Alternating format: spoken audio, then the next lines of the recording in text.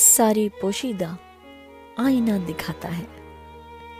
रुख हर एक तस्वीर का आईना बताता है।